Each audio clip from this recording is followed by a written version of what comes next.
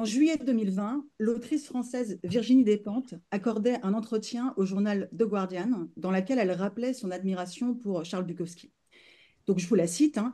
j'ai lu Bukowski pour la première fois quand j'avais 13 ans et je n'ai jamais arrêté depuis. Euh, parfois, je suis agacée par son machisme, comme je le serais face à un ami tellement proche qu'il serait devenu un membre de ma famille. Mais en général, Bukowski me fait du bien. Il me conforte dans mes choix en tant qu'écrivain et me rappelle ce que je ne dois jamais faire. Quand je suis trop déprimée ou perdue, ou quand je ressens trop de honte pour écrire, je me tourne vers Bukowski. Donc, à l'image de Virginie Despentes, de nombreux lecteurs de Charles Bukowski considèrent la lecture de ses ouvrages comme une activité quasi thérapeutique qui fait du bien, qui permet de se recentrer, de retrouver sa liberté, de résister aux injonctions de la société, et ça, ça sera important, hein, et de refaire corps avec son humanité. Pour ces lecteurs, Bukowski a souvent un parfum de jeunesse parce que, comme Despentes, ils l'ont découvert à l'adolescence, et cet auteur a accompagné leur existence.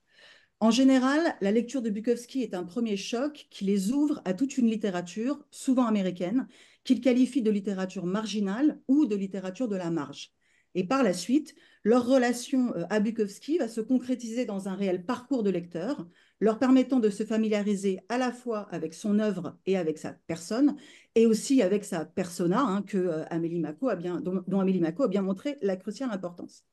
Pour Maya, Grégory, Paul ou Ludovic, que je vais vous citer aujourd'hui, Bukowski est un auteur auquel ils font appel périodiquement, qui a influencé certains de leurs choix de vie, personnels ou professionnels, et avec lesquels ils pensent entretenir une relation intime, comme s'ils étaient enfin tombés à l'adolescence sur quelqu'un qui pouvait les comprendre. Donc cette communication, c'est vraiment une première réflexion hein, sur l'appropriation de l'œuvre de Charles Bukowski chez un ensemble de lecteurs français. Mon objectif, c'est de vous donner quelques pistes de réflexion, parce que je suis donc vraiment au début hein, de cette de cette recherche.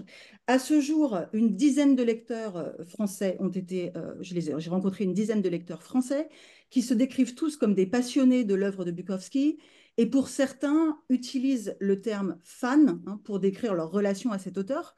Et ce terme fan, on va l'entendre, je, le citerai quelques fois dans la communication, on va l'entendre en prenant en compte la définition de Philippe Le Guerne, qui nous dit donc que ces fans témoignent d'un niveau d'engagement dans l'admiration supérieur à ce qui est habituellement attendu du public ordinaire et imprègnent leur mode de vie et habitude de cet engagement.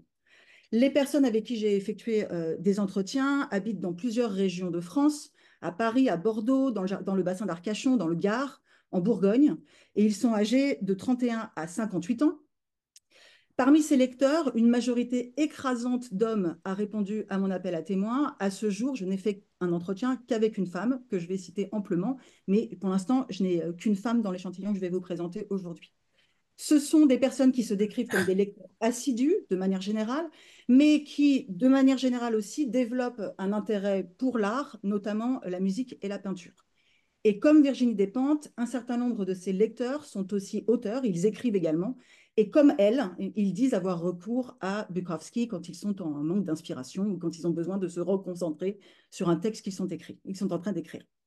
Donc, au fil euh, des entretiens que j'ai pu mener, il y a trois termes qui ont été utilisés par quasiment tous les lecteurs que j'ai pu rencontrer. Et en fait, je voudrais construire euh, la communication d'aujourd'hui autour de ces trois termes. Le premier terme, ce sera celui de marginalité. Le deuxième, celui de sincérité, que je vais faire dialoguer avec euh, la notion euh, d'émotion. Et puis le troisième terme qui revient tout le temps, c'est celui de l'humanité. Donc autour de ces trois termes, on va voir un petit peu comment se met en place hein, ce processus d'appropriation et cette relation chez les lecteurs avec Bukowski. Donc on va commencer par la marginalité.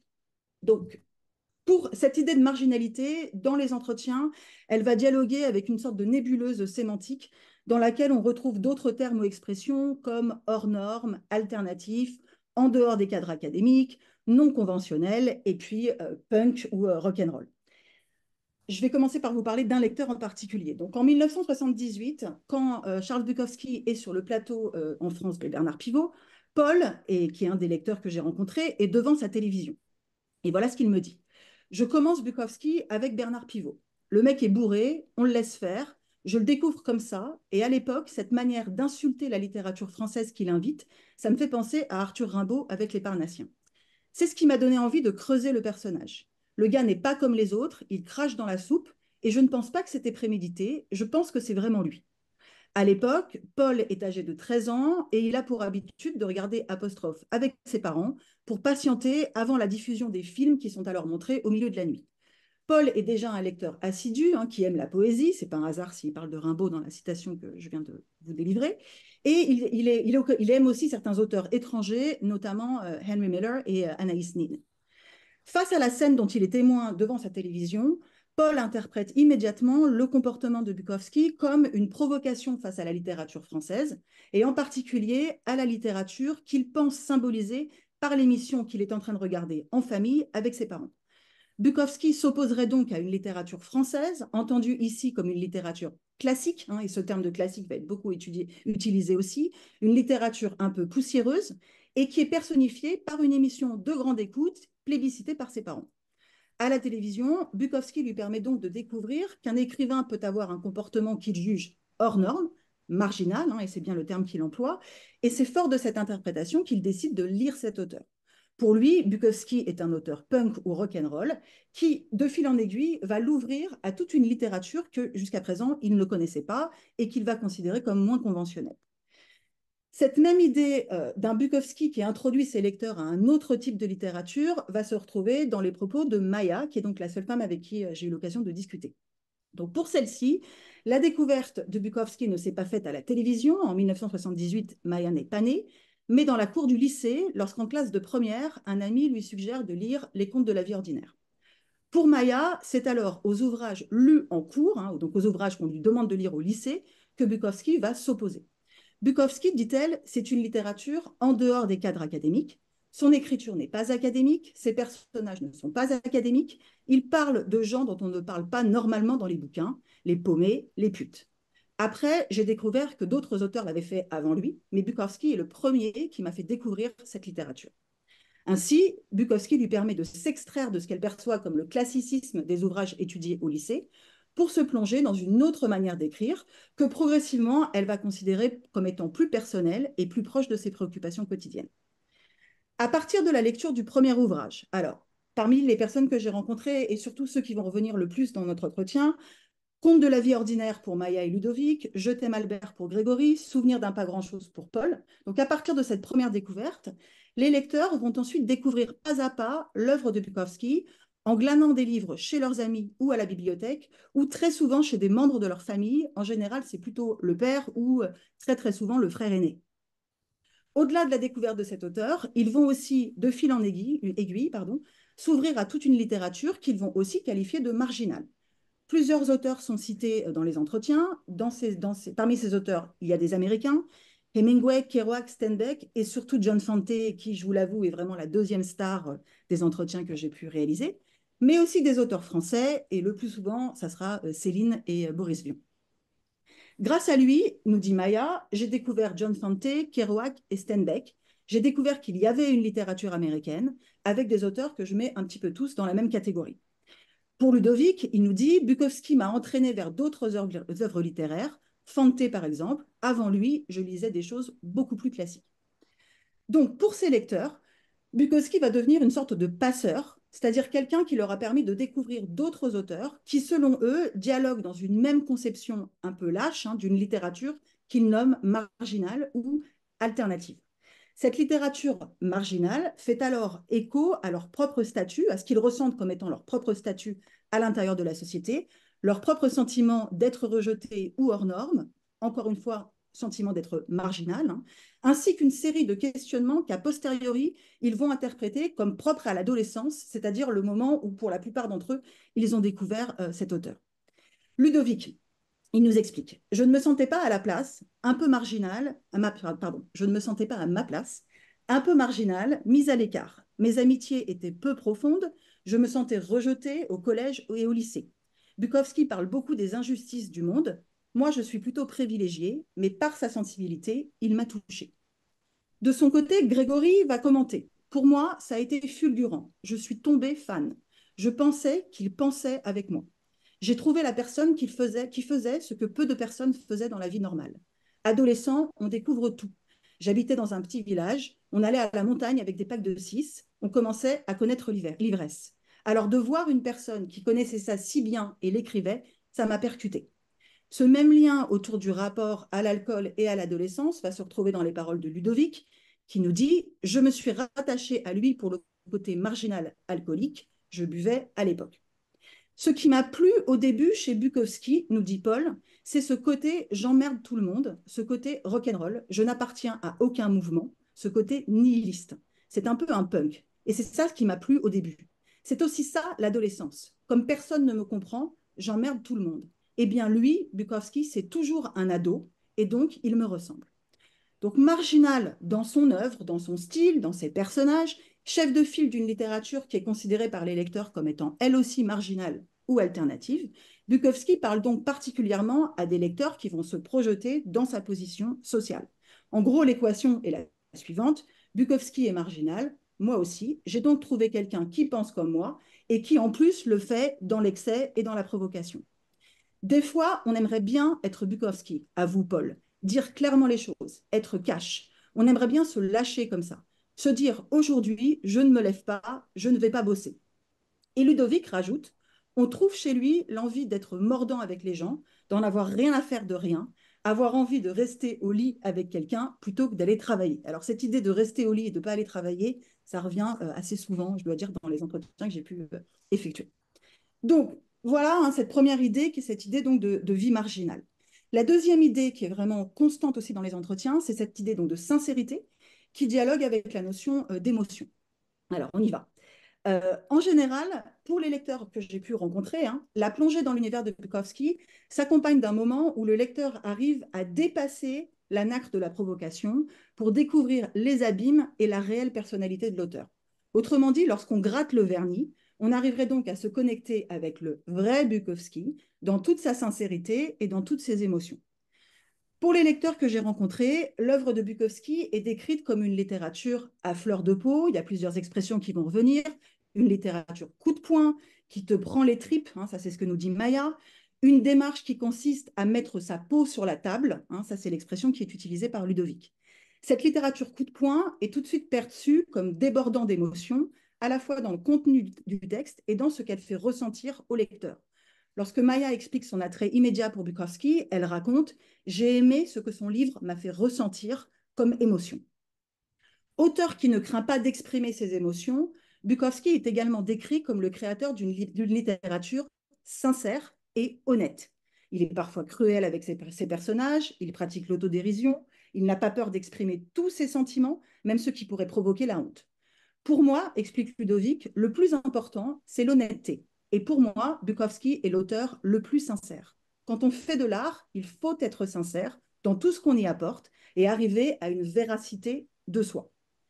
Pour Paul, qui va comme ça analyser son parcours de lecteur, sa relation à Bukowski a évolué depuis une admiration pour son côté provocateur jusqu'à ce qu'il considère comme étant une compréhension de son fort intérieur. Ce qui m'a plu au début, c'est ce côté provoque, analyse-t-il. Mais en prenant de l'âge, c'est son côté hypersensible que je retiens. C'est un mec qui a peur et qui n'a pas confiance en lui. C'est incroyable d'être devenu un tel auteur lorsque l'on a tellement été rabaissé. Avec le temps, je me rends compte de sa grande sensibilité et de sa force, ce courage de vivre. Parce que le gars, c'est un suicidé en puissance. Cette solitude, cette colère, ce manque de confiance, il arrive à en faire quelque chose d'extraordinaire. Donc la provocation apparaît donc comme le premier attrait mais elle est vite dépassée par un accès aux émotions qui se renforce au fur et à mesure de la découverte de son œuvre. Ce que j'aime dans sa manière d'écrire, analyse Maya, c'est qu'au premier abord, il est un alcoolo obsédé sexuel. Et puis quand tu grattes un peu, tu trouves toute la, sensibilité du personnage. Ça a titillé ma curiosité d'aller derrière cette façade qui, a priori, peut être repoussante. Pour Maya, le texte emblématique de Bukowski est alors son poème intitulé L'oiseau bleu, bien connu, dans lequel il exprime la sensibilité qu'il dissimule derrière ce qu'elle appelle la carapace de la provocation. Dans ce poème, il est très clair, explique-t-elle, il se protège. Pour les lecteurs que j'ai rencontrés, le fan de Bukowski, c'est alors celui qui est à même de saisir cette hypersensibilité qui est exprimée dans son écriture émotionnelle et sincère. On ne peut pas comprendre Bukowski si l'on en reste à la carapace. Les fans sont, donc ceux qui arrivent à percer l'armure. Parfois, s'exclame Maya, Bukowski fait de, la, fait de la provocation pour, et c'est son expression, éloigner les cons, ceux qui ne peuvent pas voir au-delà de ce qu'ils représentent au premier abord. Et Ludovic rajoute, le côté ouvertement sexuel des textes de Bukowski vient aussi du fait que cela lui permettait de vendre des nouvelles. Mais on sait qu'il y a chez Bukowski beaucoup plus que ça. Dans cette logique, les accusations de machisme ou de misogynie dont Bukowski est parfois l'objet sont massivement rejetées, ou en tout cas chez les lecteurs que j'ai rencontrés. Accuser Bukowski de misogynie, ça serait donc en rester au vernis de la provocation. Un vernis de la provocation qui est donc développé, selon Maya, pour éloigner les cons et donc ne pas accéder à l'intériorité de l'auteur avec lesquels ses lecteurs et ses fans, eux, sont à même de dialoguer. Ludovic explique. Mon père pense que Bukowski est misogyne, mais en réalité, il est beaucoup plus dur avec les hommes qu'avec les femmes. J'ai eu quelques débats avec d'autres personnes, mais c'est un peu à sens unique parce qu'ils ne savent pas de quoi ils parlent. Le rapport aux femmes de Bukowski, nous dit Arnaud, c'est la même chose que son hypersensibilité. Il est laid, il y a des femmes qui lui ont fait du mal, il exprime ce qu'il ressent sincèrement, dans l'excès, mais ce n'est jamais dirigé contre les femmes, c'est plutôt contre lui-même. Et enfin, Maya, c'est vrai que Bukowski n'est pas trop dans la mouvance MeToo, mais c'était une autre époque et j'aime bien remettre les choses dans leur contexte. En plus, son côté misogyne ou obsédé, c'est comme tout, c'est comme tout le reste, c'est une façade. Moi, il me fait l'effet d'un grand romantique.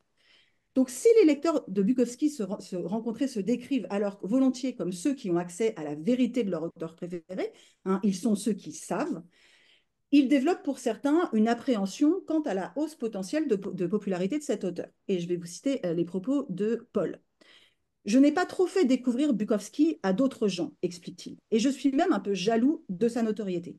On a toujours l'impression d'être privilégié quand on connaît quelque chose qui nous est cher et que personne ne connaît on a l'impression d'être un explorateur qui sait des choses que les, que les autres ignorent. Donc, en ce sens, les admirateurs de Bukowski sont en fait très proches des fans que, sur lesquels il y a eu pas mal de travaux qui ont été faits. Hein. Donc, par exemple, les fans d'Elvis Presley chez Gabriel Segré ou de Bruce Springsteen chez Daniel Kalicki. Moi, par, dans, par le passé, j'ai travaillé euh, sur les fans de Prince, hein, où on retrouve un petit peu le même type de discours. C'est-à-dire que ces fans vont se penser comme les membres d'une communauté relativement fermée qui a accès à des connaissances et à un savoir spécifique qui leur permet de créer des relations et aussi de créer avec la personne qu'ils admirent des relations qu'ils imaginent comme étant intimes. Hein. C'est un, un, public de spécialistes, un public qui sait. Troisième terme qui intervient euh, dans les entretiens, le terme euh, d'humanité. Donc, à terme, cette sincérité, qui est donc vivante dans les émotions, permet à Bukowski d'exprimer quelque chose qui relèverait de son humanité, hein, et ce terme est beaucoup employé par les, par les lecteurs que j'ai rencontrés. Donc, pour les lecteurs rencontrés, s'oppose de manière très claire une sorte d'instinct humain avec lequel Bukowski est à même de se connecter, et des injonctions sociales qui éloignent tout homme et toute femme de leur humanité. Par, parce que Bukowski est un marginal, c'est-à-dire qu'il est aux marges de la société, il parviendrait dans son écriture à déjouer les injonctions sociales pour accéder à sa propre humanité. Alors Maya, elle nous explique. Tous les personnages de Bukowski sont hyper humanistes. C'est même le cœur de l'humanité. Bukowski, c'est un hypersensible qui s'est forgé une carapace pour se protéger de la médiocrité du monde. Maya, qui est elle-même psychologue, explique alors que dans son travail, elle a longtemps privilégié le fait de se plonger dans des milieux qu'elle qualifie de marginaux. Pendant mes études, explique-t-elle, j'ai fait des stages avec des SDF, des drogués, des tolards, et je pense que ça a un lien avec ma lecture de Bukowski. Le fait que Bukowski construise une carapace pour se protéger du monde se retrouve chez les SDF, par exemple, qui eux aussi sont souvent hypersensibles, hyper intelligents, mais qui ne sont pas faits pour notre société. Eux aussi sont profondément humains et ils se construisent une carapace pour se protéger de la société. Donc, dans une dimension alors presque thérapeutique, hein, la lecture de Bukowski permet de se recentrer sur soi quand on est trop influencé par la société ou par le monde extérieur. C'est déjà ce qu'exprimait hein, Virginie Despentes dans la citation qui a ouvert cette communication quand elle indiquait que Bukowski lui rappelle ce qu'elle ne doit jamais faire. Hein. donc chez Despentes, ce qu'elle ne doit jamais, faire, d'une certaine manière, c'est résister aux injonctions sociales qu'on lui impose. Pour Maya, lire Bukowski permet de se recentrer, je vous la cite, hein, donc de se recentrer sur qui on est vraiment, de ne pas se laisser spolier par les injonctions de la société, de ne pas essayer de rentrer dans le moule. Bukowski, c'est un penseur libre et ça fait du bien.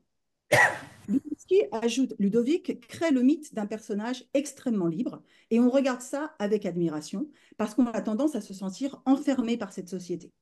Et Paul va conclure, Bukowski nous, nous, aide à moins nous apitoyer sur notre sort, ça devrait être prescrit par la sécurité sociale.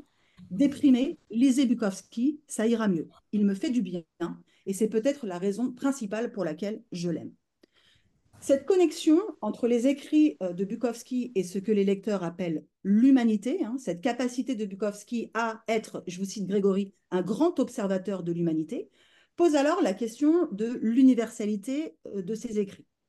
Autrement dit, l'humanité de Bukowski, si on arrive en lisant ces textes à trouver quelque chose qui est profondément humain et donc pas social, hein, qui ne dépend pas des injonctions de la société, hein, est-ce que cette humanité, elle est universelle? Ou est-ce qu'elle est déterminée euh, par son identité, par son américanité, par son emplacement physique, géographique à Los Angeles, par exemple? Alors, il est intéressant de noter que pour les lecteurs que j'ai rencontrés, on va avoir en gros deux catégories euh, de réponses.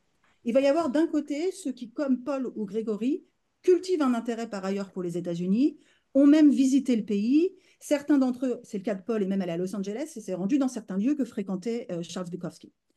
Pour ces lecteurs-là, les écrits de Bukowski sont en général indissociables de son ancrage dans la société américaine. Alors, je connais un peu LA, raconte Paul. Je peux comprendre la solitude d'un mec de LA. C'est horrible, c'est immense, c'est tout plat, c'est tout moche, c'est tout cassé. Mais Bukowski, c'est un auteur américain. Cela ne le ferait pas à Prague. D'ailleurs, pour moi, l'histoire la plus intéressante au XXe siècle se passe aux États-Unis. Au propos de Paul, va alors s'opposer les propos de Maya, par exemple, ou de Ludovic. Maya et Ludovic hein, vont tous les deux euh, dire entretenir avec les États-Unis une relation conflictuelle. Je commence par vous citer euh, Maya. Je n'aime pas les États-Unis, dit-elle, ce n'est pas un pays qui m'attire. Pour moi, c'est l'antre du mal. Ludovic, de son côté, insiste sur le fait qu'il n'a pas tellement d'intérêt pour les États-Unis. Au niveau de la politique, c'est compliqué, dit-il, même si je consomme beaucoup d'art qui vient de là-bas en fait, j'ai un attrait répulsion pour ce pays. Donc, pour ces lecteurs, hein, pour ceux qui euh, appartiennent un peu à cette deuxième catégorie, la lecture de Bukowski va alors supposer de, pour reprendre l'expression de l'anthropologue Jean-Loup Hamsel, débrancher l'écriture de Bukowski de ce qu'il raconte, pardon, débrancher l'écriture de Bukowski, ce qu'il raconte, son humanité, de son ancrage dans la société américaine. C'est-à-dire que pour s'approprier cette œuvre, il faut d'abord la débrancher, hein, alors Amsel n'utilise pas du tout ce terme dans ce contexte-là, hein, mais la débrancher de euh, son appartenance à une culture américaine ou une américanité. Ce qu'il écrit, dit Maya, pourrait avoir lieu n'importe où. Il se trouve qu'il est américain, même si quand même d'origine européenne, hein, et c'est la seule qui a rajouté ça dans les entretiens que j'ai pu faire, mais je serais plutôt du genre à, faire abstraction, c'est l'expression qu'elle utilise. J'ai dû faire abstraction du fait qu'il était américain pour pouvoir m'approprier ces textes plus facilement. Donc pour Maya, l'humanité de Bukowski est universelle dans le sens où elle s'obtient lorsque justement les déterminismes sociaux, en l'occurrence des déterminismes sociaux américains, sont évacués. Là encore, tout est une histoire de vernis, de façade, de surface, etc. L'américanité de Bukowski, ça serait donc, comme son art de la provocation, un vernis. Mais une fois qu'on gratte ce vernis, ou selon les termes qu'elle utilise, une fois qu'on fait abstraction hein, de ce vernis, de cette américanité, on peut alors arriver au cœur de sa personne, c'est-à-dire à sa réelle humanité, et cette réelle humanité, elle est nécessairement euh, universelle. Voilà, voilà en gros euh, où j'en suis. Je vous présente vraiment euh, les premiers, mes, premières réflexions, mais il me semblait bien de, voilà, de mettre en avant ces termes qui sont vraiment des termes qui ont été présents dans, dans tous les entretiens que j'ai pu réaliser. Voilà, je vous remercie et je m'excuse. Merci beaucoup.